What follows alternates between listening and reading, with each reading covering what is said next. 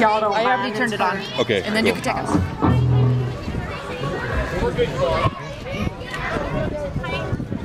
Hi, my name is Nita Pace and I'm with Lancaster Imaging. It's an outpatient imaging facility in Lancaster, obviously.